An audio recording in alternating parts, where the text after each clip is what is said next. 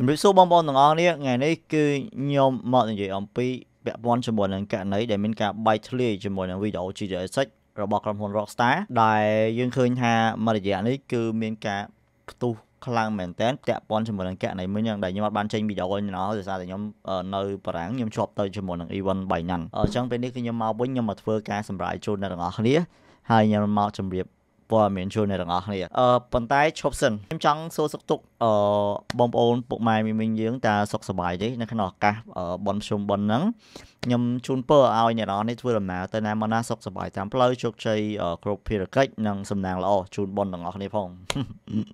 ឃើញថានៅក្នុងករណីមួយនេះគឺកំពុងតែមានការផ្ទុះខ្លាំងមែនទែនពាក់ព័ន្ធជាមួយនឹងការបែកធ្លាយទៅលើវីដេអូ GTA 6 ដែលជា early gameplay នៃការចាប់ផ្ដើមផលិតរបស់ក្រុមហ៊ុន Rockstar ប្រមាណជា90វីដេអូជាងដែលការបែកធ្លាយមួយនេះគឺជាការបែកធ្លាយដែលធំបំផុតមិនធ្លាប់មានពីមុនមករបស់ក្រុមហ៊ុន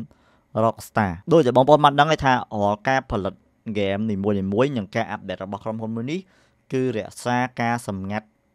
ខ្លាំងមែនទែនអញ្ចឹងការបែកធ្លាយមួយនេះគឺផ្ដើមចេញមកពី GTA Forum ផ្ទាល់ដែលមានការបង្ហោះពីគណនីមានឈ្មោះថាអឺ Teapot Uber Hacker ដែល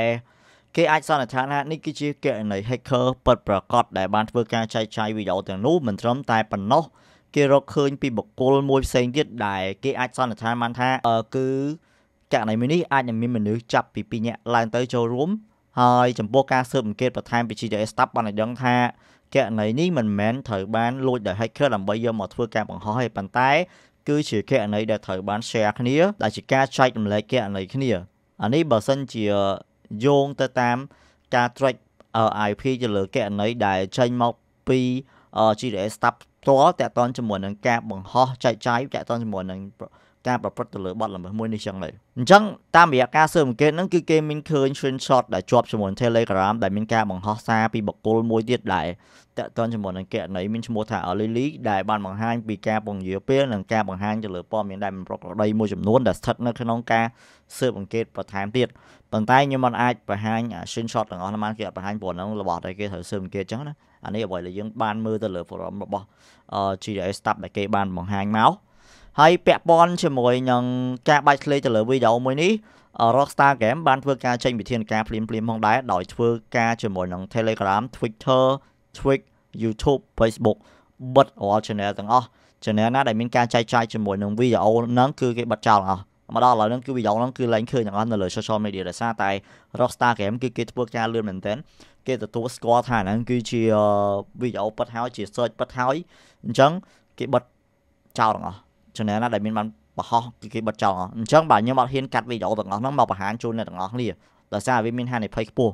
សម្រាប់អ្នកដែលគាត់ចែកចាយអឺបើទោះឲ្យយើងចែកចាយក៏ដោយយើងអ្នកនរគ្នាអញ្ចឹងវាអាចនឹងធ្វើឲ្យ switch ដល់ channel យើងឬមកក៏ switch ទៅដល់អឺ page របស់យើងអញ្ចឹងទៅហើយភ្លាមភ្លាមហ្នឹង Rockstar ក៏បានចេញសេចក្តីថ្លែងការណ៍ដែរអ្នកនរគ្នាដែលសេចក្តីថ្លែងការណ៍ជាផ្លូវការហ្នឹងគឺខ្ញុំបកឲ្យអ្នកនរគ្នាស្ដាប់អញ្ចឹងណាអញ្ចឹងនៅក្នុងសេចក្តីថ្លែងការណ៍ហ្នឹងគឺគេបាននិយាយថា ថ្មីថ្មីនេះយើងទទួលបានពីការរំលោភ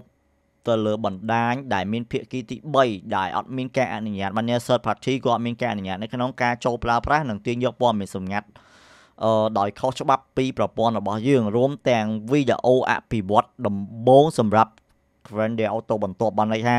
ជាវីដេអូដំបូងដែលជា early development នៅក្នុងការផលិត GTA 6ហ្នឹងអឺនៅពេលនេះយើងមិនរំពឹងថាមានការរំខាន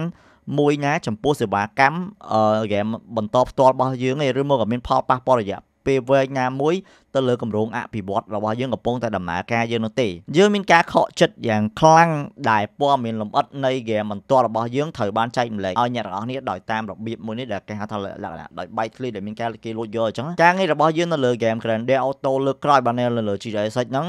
នឹងបន្តដូចដែលបានគ្រោងទុកគេចង់និយាយថាគេនៅតែផ្ដាច់ញ៉ាធ្វើអានឹងបន្តទៀតមិនឲ្យមានការពន្យាពេលឬមកក៏មិនឲ្យមានការយឺតយ៉ាវទៀតបើទោះបីជាព័ត៌មានហ្នឹងត្រូវបានបែកធ្លាយ ក៏ពិតមែនហើយវាជាលើកទី1ដែលគេមិនធ្លាប់មានបទពិសោធន៍នៅក្នុងការបែកធ្លាយព័ត៌មាន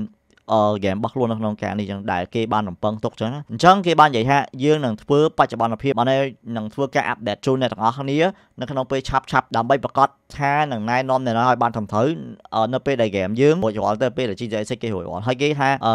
រងខាង Rockstar គឺចង់អរគុណដល់អ្នកទាំងអស់នេះសម្រាប់ការគ្រប់គ្រងនៅតែបន្តការគ្រប់គ្រងទៅកាន់ Rockstar បើទោះបីជា ស្ថិតនៅក្នុងស្ថានភាពនេះពិតមែនអាហ្នឹងគឺជាគឺជាសារដែលថ្លែងពី Rockstar Game ផ្ទាល់អ្នកទាំងអស់គ្នាអញ្ចឹងករណីមួយនេះមកដល់បច្ចុប្បន្នហ្នឹងគឺរៀងស្កាត់បន្តិចឯងខ្ញុំអត់ដឹងថា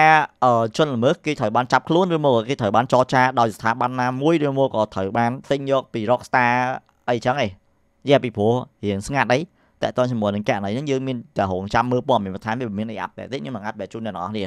ប៉ុន្តែនៅក្នុងករណី hack តើតើជាមួយនឹងការទម្លាយវីដេអូមួយនេះគឺមានគេសន្និដ្ឋានបណ្ដោះអាសន្នថាអាចនឹងជាស្នាដៃរបស់ក្រុមដែលមានឈ្មោះថា Lapsus Dollar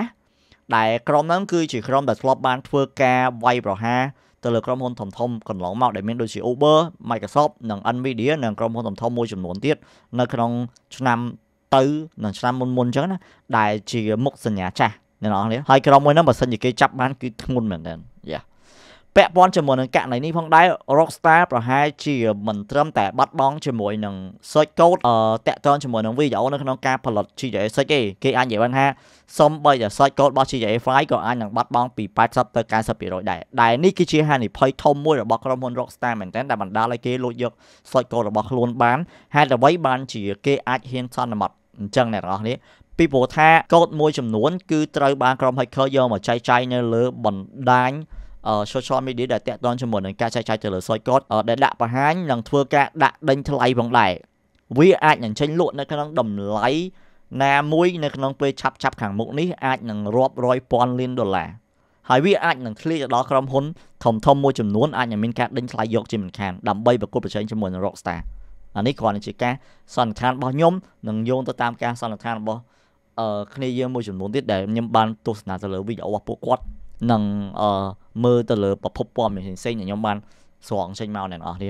អញ្ចឹងជាមួយនឹងព័ត៌មាននេះផងដែរមានព័ត៌មានមួយទៀតអ្នកនរគ្នាអានេះថាទុកជន់ទុកអឺមានអ្នកដែលគាត់ទៅទិញយកសោចកូដមួយហ្នឹងដោយគាត់ចំណាយ1សែនដុល្លារដើម្បី ទិញយកសុយកូដមួយនឹងតែការដោះដូររបស់គេគឺគេប្រើជាលក្ខណៈ crypto អ្នកនរគ្នាដែលគេបាញ់ជាកាក់អីផ្សេងៗហ្នឹងទៅជា crypto ទៅដើម្បីបង់ប្រាក់តែឮថាអ្នកដែលគាត់ទិញយកសុយកូដហ្នឹងគឺគាត់ចាយលើមនុស្សខុសបានន័យថាអ្នកដែលលក់សុយកូដហ្នឹងឲ្យគាត់មិនមែនជា hacker ទេគ្រាន់តែជា scammer ដែលបន្លំខ្លួនថាមានសុយកូដសម្រាប់លក់អញ្ចឹងណាអញ្ចឹងអានេះគឺចង់ចំណេញដាច់ចំណងមានណាគេបោកយកលុយទៅបាត់អស់មួយសែនអ្នកនរគ្នា តែដល់ព័ត៌មាននឹងពិតអត់ទេហ្នឹងគ្រាន់តែជាព័ត៌មានមួយដែលបែកធ្លីមកមួយទៀតអឺយ៉ាងណាមកខ្ញុំចង់ចែកម្លែកបងប្អូនខ្លះស្ថិតនៅក្នុងស្ថានភាពមួយនេះអ្នកទាំងអស់គ្នាអ្នកទាំងអស់កុំចង់ទៅតាមបានឬមកកុំចង់ទៅមើល source code ដែលបានបែកធ្លាយតាក់ទងជាមួយនឹងការផលិតលើ GTA 6ហ្នឹងឬមកក៏ GTA 5ដែលបានបែកធ្លាយមកអ្នកទាំងអស់នេះអាចនឹងជាប់អន្ទាក់របស់ hacker ដែលគេបោកអ្នកទាំងអស់ប្រើកថាបានដែរអូមកឥឡូវចង់មើលចុច link នេះ link នេះស្រាប់យើងធ្វើតគេអាចនឹងបោកយក IP អ្នកទាំងអស់នេះប្រើឬមកគេអាចនឹង scam អ្នកទាំងអស់គ្នាដោយវិធីណាមួយប្រយ័ត្នណាអ្នកទាំងអស់គ្នា ចង់មើលរបស់ទាំងអស់ហ្នឹងនាំទុកដាក់ខ្លួនអញ្ចឹងអ្នកត្រូវទៅដឹងថាតាមដានតែព័ត៌មានខ្ញុំមួយទៅបានហើយអានេះគ្រាន់តែខ្ញុំចង់ណែនាំទៅអ្នកទាំងអស់គ្នារញលោថាមានគ្នាយើងខ្លះគាត់ប្រកែពេកដល់ថ្នាក់ចង់ទៅ research អារបស់អញ្ចឹងអញ្ចឹងវាធ្វើឲ្យវានាំទុកដាក់ខ្លួនវិញយ៉ាអញ្ចឹងនៅក្នុងស្ថានភាពមួយនេះផងដែរខ្ញុំទទួលបានព័ត៌មានមួយទៀតនៅម្សិលមិញគឺខ្ញុំទទួលបានព័ត៌មានដែល ប៉ូលីសនៅក្នុងទីក្រុងឡុងគេបានប្រកាសថាគេបានចាប់បានទៅលើក្មេងប្រុសជំទង់ម្នាក់ដែលមានវ័យប្រមាណជា17ឆ្នាំពាក់ព័ន្ធជាមួយនឹងករណី hacking នឹងដែរតែគេអត់ទាន់អាចបញ្ជាក់បានថាតើក្មេងប្រុសម្នាក់ហ្នឹងអាចនឹងពាក់ព័ន្ធជាមួយនឹងករណី hacking ទៅលើក្រុមហ៊ុន Rockstar នឹងអត់ទេដោយបច្ចុប្បន្នក្មេងប្រុសម្នាក់ហ្នឹងកំពុងស្ថិតនៅក្នុងការសាកសួរនិងឃុំខ្លួនជាបណ្ដោះអាសន្នចម្ងល់ចុងក្រោយអ្នកនរនេះខ្ញុំនៅតែឆ្ងល់ហើយក៏មានគ្នាកំពុងតែឆ្ងល់នៅតែឆ្ងល់ថា អឺតាវីវីដេអូដែលដែលបាច់ឃ្លីមកពិតប្រាកដរបស់ GTA 6 source code ហ្នឹងវាបែកឃ្លីមកដោយវិធីណាដែលគេទៅលួចយកមកដោយវិធីណាអញ្ចឹងណាពីព្រោះរឿងមួយនេះគេកំពុងស្ថិតនៅក្នុងការស៊ើបអង្កេតហើយក៏មានចម្ងល់ជាច្រើនដែរហើយវាមានប្រភពខ្លះទៀតដែលបញ្ចេញមកដែរប៉ុន្តែញ៉ហ៊ាននិយាយដោយសារតែខ្ញុំមើលទៅអត់សូវច្បាស់វាអត់ទាន់មានប្រភពណាដែលវាច្បាស់បើមានប្រភពណាដែលច្បាស់ខ្ញុំនឹងអាប់ដេតជូនអ្នកនរគ្នាថាគេចូលទៅយកអា source code ហ្នឹង យកមកដោយវិធីណាដើម្បីយកមកធ្វើចេញជាវីដេអូដើម្បីចែកចាយយ៉ាងដែរយ៉ាព្រោះឥឡូវគេកំពុងតែស៊ើបអង្កេតហើយអ្វីដែលគេស៊ើបអង្កេតផ្ដើមដំបូងគឺគេចាប់ផ្ដើមចេញពី forum ដែលបាយធ្លីហ្នឹងឯងដែលមានករណី hacker ដែលគាត់យកមកបោះហ្នឹងតែគេកំពុងតែ track IP និងតាមដានទៅលើសកម្មភាពផ្សេងផ្សេងដែលធ្វើអញ្ចឹងឯងប៉ុន្តែมันងាយទេអ្នកនរនេះពួក hacker នឹងខ្លាំងខ្លាំងហើយបច្ចុប្បន្នគឺ FBI គេកំពុងតែសហការជាមួយនឹងក្រុមហ៊ុន Uber ក្រុមហ៊ុន Microsoft អឺ អាចនិយាយបានថារៀងសកត់ធ្ងន់ទៅលើក្រុមដែលខ្ញុំនិយាយមុនហ្នឹងដែលគេអឺ Lapsus ដុល្លារហ្នឹងដែលជាក្រុមគាត់ធ្លាប់បានធ្វើការវាយវិហារទៅលើក្រុមហ៊ុន Microsoft អឺក្រុមហ៊ុន Uber ក្រុមហ៊ុន Google Nvidia កន្លងមកហ្នឹងនិងក្រុមហ៊ុនធំៗមួយចំនួនទៀតដោយសារតែគាត់ជាប់ពាក្យបណ្ដឹងច្រើនអញ្ចឹងខាង FBI គាត់រៀនសង្កត់ធ្ងន់ទៅលើក្រុមហ្នឹងដែរអញ្ចឹងអឺក្រុមមួយហ្នឹងក៏បើសិនជាគេចាប់បានក៏ធ្ងន់ដែរអ្នកនរគ្នាហើយឥឡូវមកប៉ះមួយ Rockstar ទៀតបើសិនជា Rockstar គាត់ដាក់បន្ទុកទៅលើក្រុមហ្នឹងបន្ថែមទៀត អឺខ្ញុំគិតថាគេអាចនឹងចាយលុយច្រើននៅក្នុងការតាមរកទៅលើពួកគាត់តែយើងអត់ទាន់ដឹងយើងក៏សំណុំរឿងមួយនេះគឺខាង FBI គេកំពុងតែធ្វើការបដាបដាអ្នកនរគ្នាអញ្ចឹងខ្ញុំសង្ឃឹមថាខ្ញុំនឹងមានព័ត៌មានអឺបន្ថែមទៀតជាច្រើនទៀតដើម្បីធ្វើការអាប់ដេតជូនអ្នកទាំងអស់គ្នាបន្តបន្តទៀត Anyway អរគុណអ្នកទាំងអស់គ្នាជូនពរសំណាងល្អទាំងអស់គ្នានៅក្នុងឱកាសបុណ្យភ្ជុំបិណ្ឌជម្រាបលា